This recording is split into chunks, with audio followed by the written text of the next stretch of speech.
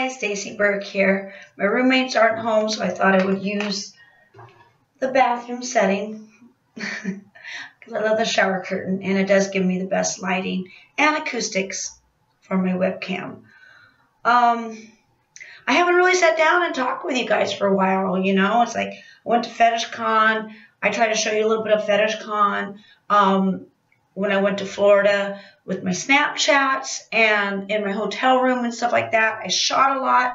And then when I came back home, I just, I got busy. I did, you know, I, I worked at the dungeon with Tanya Danielle. Like I gave you some snapshots of there. And then it was just like, summertime is really busy. Everyone has something going on. We're going here, we're going there, working. And then, um, dealing with lawyer stuff. Yes, I'm still going through the divorce. It's I guess it's going to take a while. Divorces take a while, I guess, especially when the other party keeps fighting you. So more lawyer fees if you don't I don't want to get too into it because I don't really know what's going on. It's just it's going to be a long process, I guess. And I'm paying more and more uh, lawyer fees and all that kind of stuff. Um, it's getting kind of expensive, extremely expensive. Uh, so I'm a little worried on that, but what are you going to do? You know, I'm just looking around like, oh, I need to clean that. I need to clean that. Uh, hold on. Sorry, I had to clean something. So there's really not much to really tell you uh, about it because it's just more of the same, I guess. Um, but I'm I'm kind of learning. If you saw my video video before this, like I'm kind of like letting go of the anger and stuff, and I'm trying to be just live in the moment and be happy and know everything's fine right now. Not to say that I don't have my moments. Like yesterday, I was kind of in a bad mood. I tried to film. Uh, we had like a little Naples Fest, like a little, like a little festival here, and um, I don't know. For some reason, I was just in not the best mood possible. Uh, and it's when I'm like that, it's best that I'm not around people because you don't know what will set me off. I'm, like with everybody, everyone gets that way. But um, I just know to, um, there goes my phone. And I'm sorry if I don't know how to start this video because there's things that I wanted to sit down and do a video, but I waited because there's things that upset me and I want to do a rant video, but then I didn't and I stepped away from it. And um, uh, I probably should have done it, but then again, I guess not because I don't want to come off like um, that um, that person. Oh, it gives. I got people have been saying, oh, you got like eye boogers, like you got, you know how you get like stuff in the, in the in the corners of the eye. No, I looked. I have eyelashes growing in the corners, and it hurts too much to tweeze them. So I've been getting scissors, like those little tiny, um, like nail scissors, and and cutting them. I don't know why am I having eyelashes grow in the corners of my eye. I'm not doing anything. I mean, I, I don't wear any makeup, so it's not like any eyelash stuff I've been putting on. So I don't, I don't know. Anyway, it's weird. I've never heard such, such a thing. Have Have you know anyone that has eyelashes grow in the middle, like in the corners of the eyes? Like it hurts to tweeze. I can't. I tried. It hurts too bad. The only thing I could do is just cut them. So anyway, sorry this video is like going nowhere. Like I've been wanting to bring you up to date on stuff, and I and I do want to tell you about some and stuff because okay, if you know, I have Fetish Con. I go to FetishCon. Uh, it's a domain I, I, have had for a long time, and it's it's a um, it's just a fetish convention, and I love it. And of course, every year gets bigger and bigger, like most things. But there's some people that I guess they don't like it. They got big, or they have their own reasons why they might not like it, which is fine. They're fetish producers and stuff like that. Well, there's this one like a couple every time I, I, I upload a video about FetishCon, they haven't came for a while because I guess this producer when he showed up, he had a girlfriend, and then his girlfriend took off with one of the other fetish producers. I don't know, drama, drama, whatever. And so he had a bad taste in his mouth, and he stopped going to FetishCon. Fine, you know. Whatever you want to do, you want to do. But every time I upload a video about FetishCon, he would make a comment on Twitter like, oh, you just saved me tons of money. I didn't have to go to FetishCon. I got to see it on, on your YouTube channel. Yay. And he would make a comment every year about that. Ha ha. Mm-hmm. Ignore it. You know what I mean? Because he might mean as a joke, but it's kind of insulting to me since FetishCon, the name FetishCon and the idea of fetish convention was kind of like my baby. That's why I bought the domain in the first place because I always wanted a convention like that. You know, and for you to poo-poo it, especially to me or anyone that's involved with FetishCon, is, is hurtful. It's hurtful and it's shady and it's not something a friend would do. You know, if it's a joke, it's not a very funny joke. So I've ignored it for years. He would always make that comment. Well, finally this year, I have it. He made the same comment, basically, oh, you just saved me ton tons of cash. Thanks you. Thank you for posting a FetishCon video. And by the way, I don't know anyone there. So I'm glad I didn't go or something like that. And so I posted back, I go, the reason you don't know anyone is because you never show up. And it's rude and hurtful for you to say stuff like that to something that's very beloved to me and beloved to a lot of people. And he goes, I'm sorry. Yeah, it was just a joke. Anyway, he got upset that I got upset because I basically had it. I go, this is rude. This is straight up rude. You know, and then he started barking at me.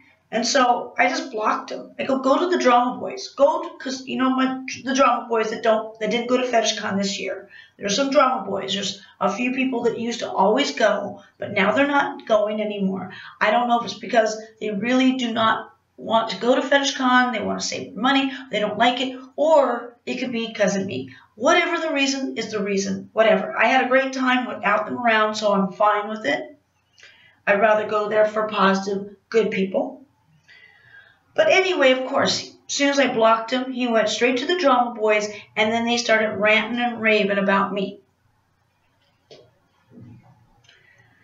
Which is fine.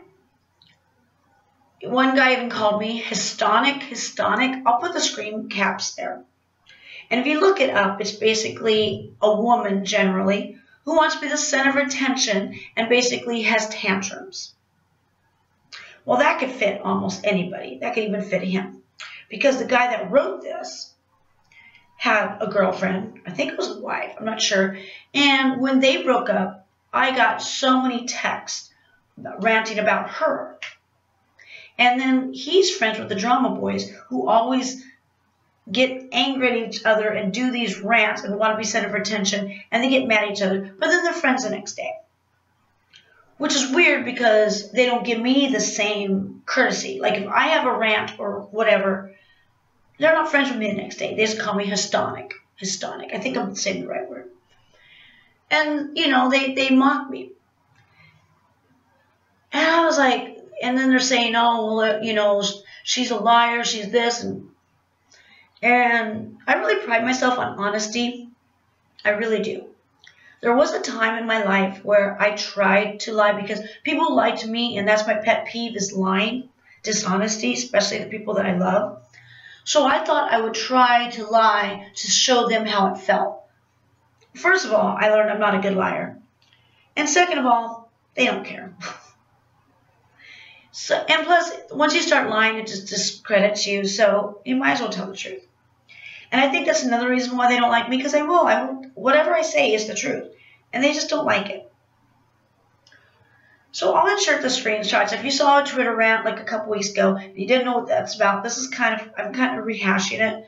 And I'm just kind of explaining it. And uh, I'm doing it in a more common, calmer uh, tone.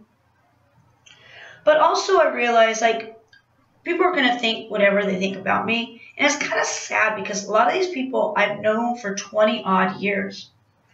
And they're believing, of course, my husband, who they met through me, and they know less. And I know the truth. I know the truth. And if they want to believe whatever they want to believe, go ahead. Because especially when they, one person at the LA County Fair witnessed my husband having a tirade on me and was trying to, you know, like like uh, sympathize with me and stuff like that. So he knows better. You know, he knows better. Right. Every time I try to film, there's like noises. But anyway, I can't stop them, whatever they want to believe, or and I can't really like, or even if they don't believe it, I don't care. But there was this um, video I saw of the BET Awards, um, Maxine Waters, and she uh, accepted an award, and I'm going to insert a little bit of it in this video. And she was based, well, she was going to do it politically, but I'm I took it as what's going on with me. Sometimes people will say things to hush you up, to put you down, saying you're Hispanic, or uh, my husband would say you have Munchausen. No, what does he call me? Is it Munchausen disease or or anyway any kind of disorder they would put there? God, now I can't think of it. I knew this was going to happen when I pressed record. I can't think of it. Not Munchausen disease, but there's something else, uh, some kind of disorder, or it's like um, a socially inept disorder they will basically do whatever they can to suppress you, to oppress, yeah, oppress you, like to just to shut you up, to make you feel you you have no value, no worth. Uh, whatever you say or do is a lie. You're this, you're that. In other words, they just want a good little girl to do and say what they want to do and say, or or they just whatever the cookie cutter that they want you to be. And if you're not, they will insult you and put you down. And there was a time when it kind of worked, and I was believing what they were saying. And sorry if I'm getting discombobulated, because now it's like.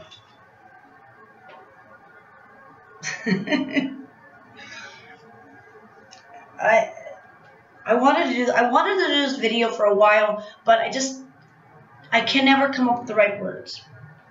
But Maxine Waters did this. Um, I'm going to insert there, and it was it's kind of like that. It's just they want to just shut you up. And in fact, like let me, I'll show you the screenshots later.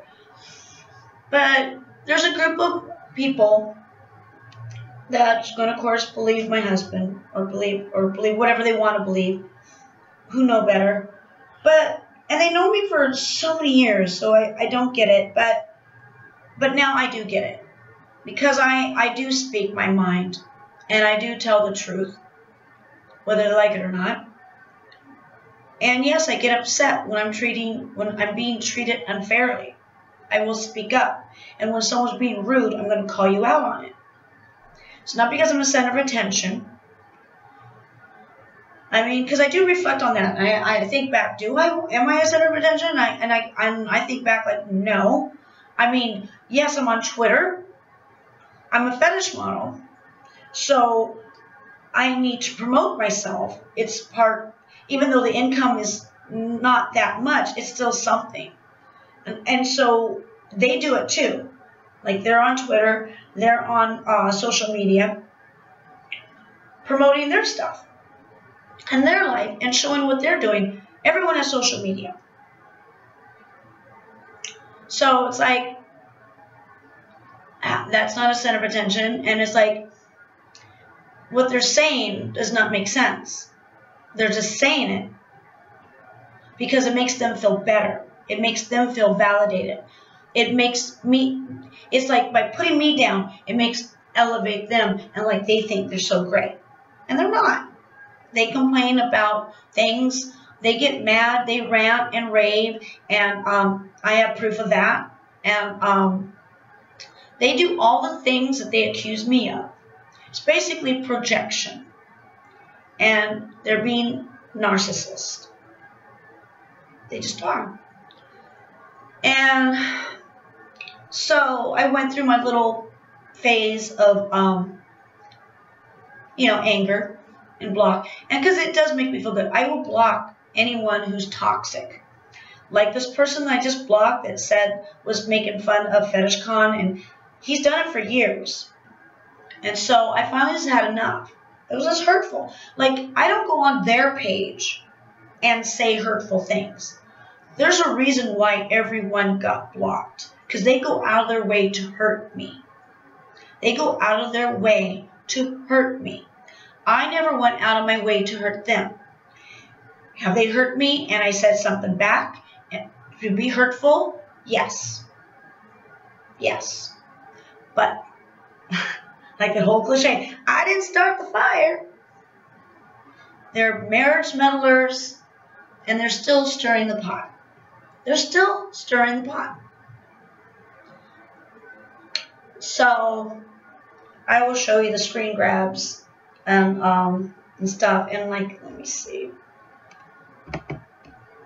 Did like, as you hear the shower above me. Like, I dare anyone to catch me in a lie. I pride myself on honesty. Cling to drama. You don't care about truth. You just want women to be under your control. Another thing I wrote, if I'm so hystonic, I, I am so hystonic that I stayed nine years in an abusive relationship and got a job at a laundromat. These drama boys are projecting and narcissists. When silly boys insult you, you get upset at the passive-aggressive abuse, they call you hystonic. Projection most likely. And yes, I'm being irrelevant.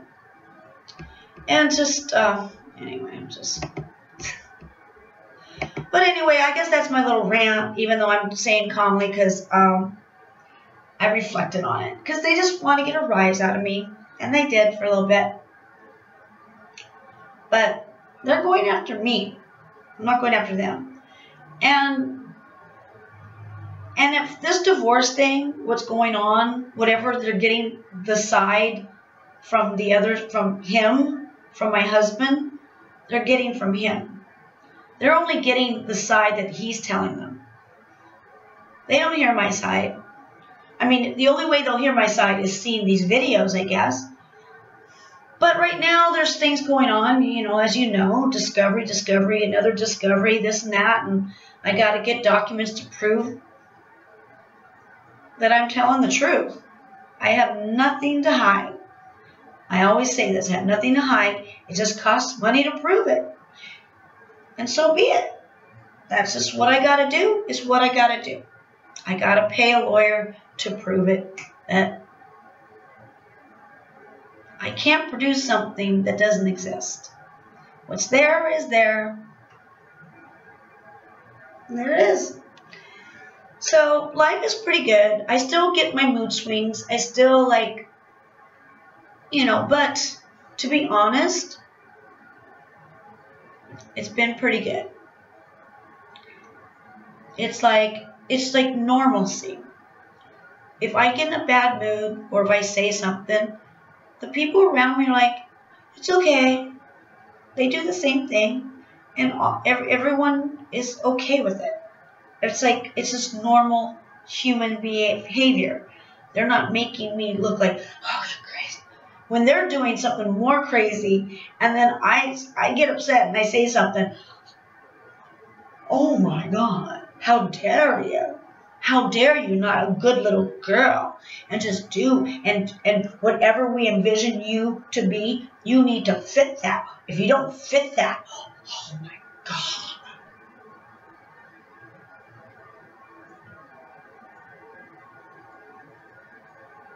So I'm learning that everything's fine. And it's like I'm calm My group of friends have grown. If you see my update, my group of friends have grown. I see the time ticking. This is a long video. So I'm going to stop it, but you get the gist of it, right? Yeah. These little drama boys. Drama, and you know, they're all the guys. They're all guys. They're all guys. Sure, there's, I'm sure there's some girls out there that are friends with them that believe this too, but they're not as adamant. They're not as uh, out, what, um, out there. These drama boys, they're hilarious. They're funny. And they always like to put on social media how, oh, how beautiful this guy is, and oh, I'm taking a bike ride and doing this, all these lovely things. But yet, I see the darkness behind those words. See, words are nothing, actions are everything.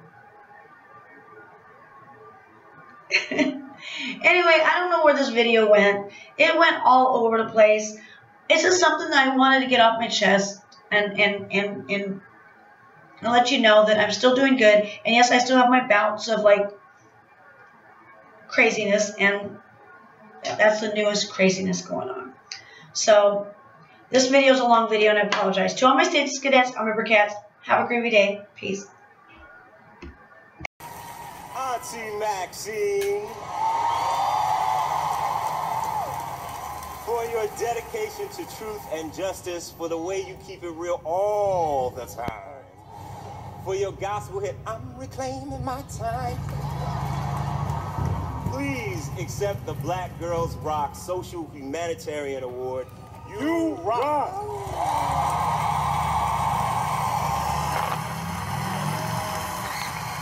Good evening, everyone. To Beverly Bond, the founder of Black Girls Rock, and Debra Lee, the chairman and CEO of BET, I'm extremely grateful for the recognition that I'm receiving this evening. But I want you to know, if it was not for the love and respect shown to me by black women, those right-wing, ultra-conservative, alt-right haters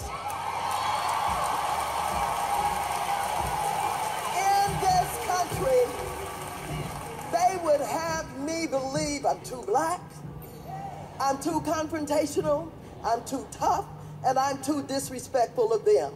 But now, I know I'm simply a strong black woman.